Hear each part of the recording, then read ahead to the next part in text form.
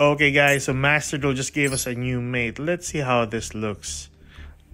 Oh my god, it's just Gaia riding on a stick insect. Oh, this is just a scam. 500 crystals for this? Ah, man, don't buy this, boys and girls. It's a scam.